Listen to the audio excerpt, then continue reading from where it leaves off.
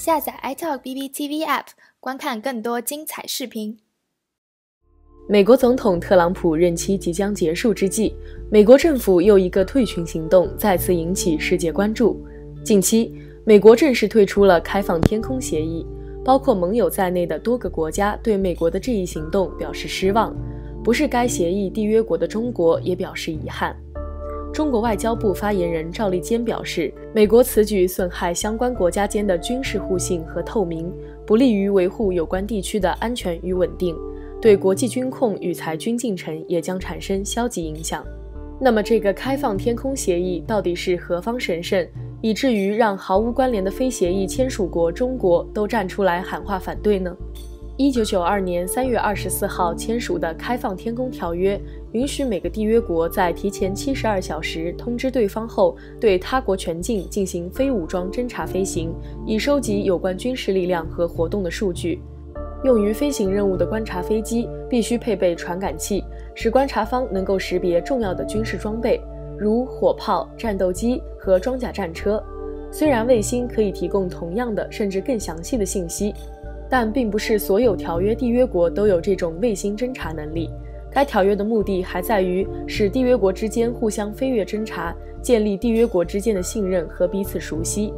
这个条约早在1955年，美国时任总统艾森豪威尔首次提出，并在1989年同样由美国前总统乔治·布什极力促成。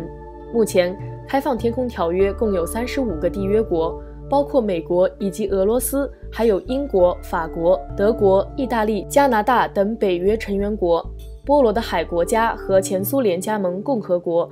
华沙条约国等。根据条约，每个缔约国每年都有义务接受一定数量的侦察，称为被侦察配额。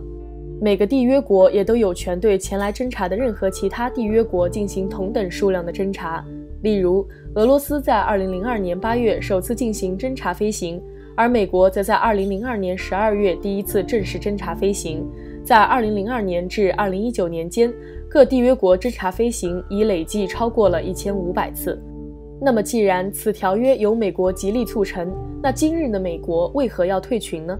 其实，美国早在今年5月22号就正式向所有签约国递交退约决定通知。美国国务院发表声明称，继续作为开放天空条约成员国已不符合美国利益。除非俄罗斯方面能够重新履行这一条约，美国将在六个月后，即十一月二十二号正式退出该条约。由此可见，美国退群全怪俄罗斯。那到底俄罗斯做错了什么呢？就美国国务院副主理国务卿托马斯·迪安诺表示，俄罗斯严重违反中导条约，违背赫尔辛基协议中的承诺。侵略格鲁吉亚和乌克兰，声称暂停履行欧洲常规武装力量条约规定的义务，有选择地执行维也纳协议，在欧安组织国家领土上使用化学武器，散布假消息等许多破坏稳定的各种活动。俄罗斯反驳美国方面的指责毫无根据，所以现在的形势是美俄各持己见。美国批评俄罗斯对欧洲安全和军备控制架构造成的损害负有直接责任。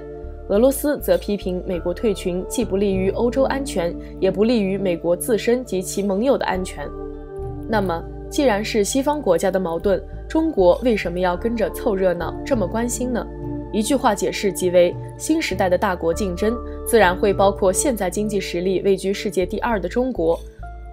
回顾过去，美国从2002年退出反弹道导弹条约，以及最近退出的伊朗核问题全面协议、中导条约和开放天空条约后，在国际军控方面，与俄罗斯之间仍在有效期内的核限制武器条约只剩下最后一个新削减战略武器条约，而该条约将在明年二月到期。但美国一直坚持，如果中国不加入，则美国无意将此条约延期。对此，中国一直批评美国炒作中国因素是为了转移国际注意力，为退出新削减战略武器条约制造借口。由此可见，美国现如今势必要与中国进行捆绑限制，而美国事实上核弹头的数量依旧是中国的二十倍。那处于劣势的中国自然要提前出手进行申辩，否则届时当美国退出新削减战略武器条约后，将原因直接推给中国。那时中国再站出来，可能就会非常被动了。当然，除了中国之外，美国这一系列的退群行为也一直受到国际媒体关注。不过，大家都把目光集中在了中美两国未来全方面关系上，特别是军事竞争。有批评美国肆意退群，破坏各国花费几十年来树立的稳定局势；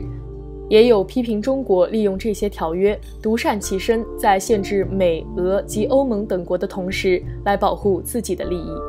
如果您喜欢本期视频，请关注、点赞并分享，下载 App 解锁更多功能。我们下期再见哦！